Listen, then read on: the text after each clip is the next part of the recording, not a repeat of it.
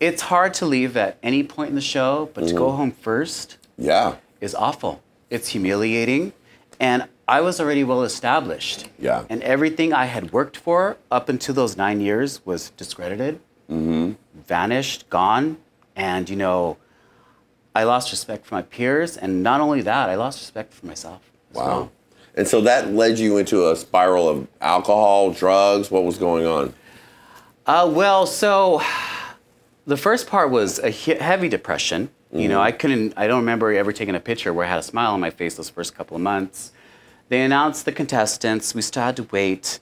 And then it was this whole year of just accents, a- excess, and just, you know, drag, sex, you know, rock and roll. I mean, it was just, Is this before the lead up to when it came out or after it came out? it was when it premiered. so, it premiered, you were like, "F- it. I'm not, I'm on the first episode, but I can still, did you still get to go on, did you still tour or? Oh, yeah. I, Yeah, so you were on the road. I was on the road. Uh, that first year, I went to 30 cities Mm-hmm. in one year. I was uh, when it first came on. I was literally f- solely booked from February till September. Right. Li- literally lived at LAX. However, I couldn't enjoy what I was getting because I still had that in the back of my mind, like they're just feeling sorry for me. You know, Mm-hmm. they're just this is a fluke. You know, this is just a flash in the pan. You know, this is all going to be over. You know, I couldn't really enjoy it because Yeah. I was just so suffering and just so traumatized from what happened. And then at the same time, I didn't really talk about what happened, my side of the story, Mm-hmm. because also this is you know when Drag Race was so young, Yeah. and you know now it's you know now it's on its 10th season people have kind of seen between the lines and Mm-hmm. you know seen seen things and i didn't want to say anything because i didn't want to look like a sore loser. Mm-hmm. i didn't think people would believe me. I was just holding all this in. Right. and it was hurting me.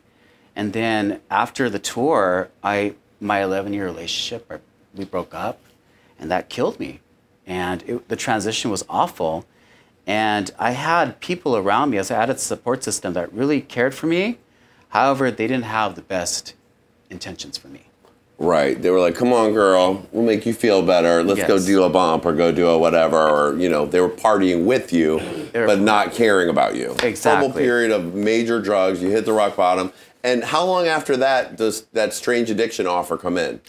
it came in uh, i um, about 10 months later Okay, so you had about 10 months to pull it together, but 10 months is not that long after two years of hardcore drugs. Of course. Oh so you're gosh. probably barely, Yeah. Mm-hmm. barely out of it. You're still just first touching base with your mom. You bring your mom on Strange Addiction. Mm-hmm. And the Strange Addiction was I'm addicted to looking like Madonna? right Okay.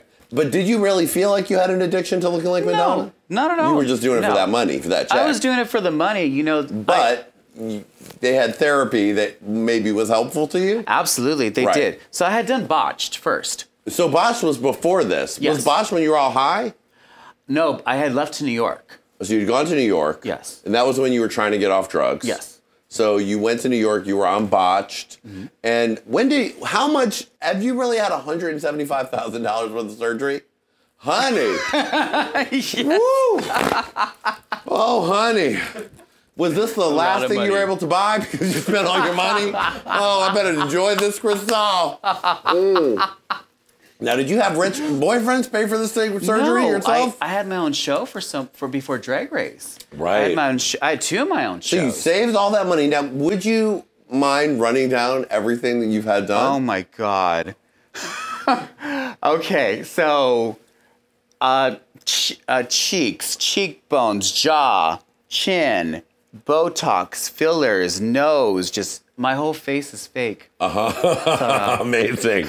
you know, it just well, I had I had two of my own shows. I was with the Dreamgirls Revue. Right. I was touring all over SoCal. Right. I was making a lot of money. Yeah, you were. Uh, do I have the right fan? I think right here. You were busy. I was busy. I was. You were making that money, and you were spending that money real quick. Mm-hmm. Uh, so you spent one hundred seventy-five thousand. What was the most expensive procedure? oh, um, the nose. The nose. The nose. Because what was your nose like before?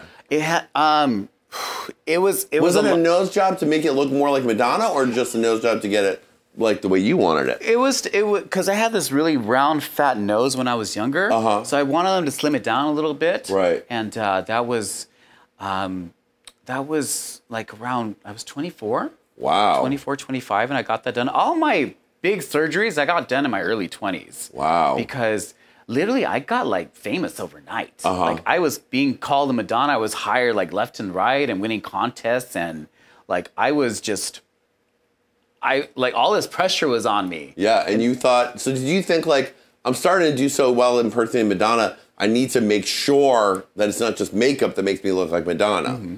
Was it, or was it more personal reasons? Was it business or personal? It was business because also um, I, my, I was more involved in the impersonation field, lookalike field. Right. So I had mentors, I had people I looked up to, and a lot of people, you know, say, said, hey, you know, I've had this done, I've had that done. right, and know, you were also in consider it." Dreamgirls with Chad, who'd also had many procedures done. Right. Did you have ever? Did you ever have procedures that you regretted? Like, I mean, later Chad talked about silicone in his face and other people. Did you ever have anything like that? No, because I never went that far. Okay, well that was wise. know. Even though you were crazy high in meth, you made a wise decision about that, Venus. yes. Okay, so now that we've gotten that out of the way, so you get to Strange Addiction. The end of that episode, they do say that you renounced all things Madonna and you hung it up Right. for years. Now that wasn't planned Uh-huh. actually.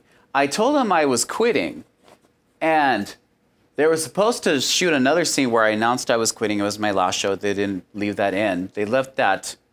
Um, they left it in where it said I had sold everything. I gave it up. With that being said, the whole media got involved Yeah.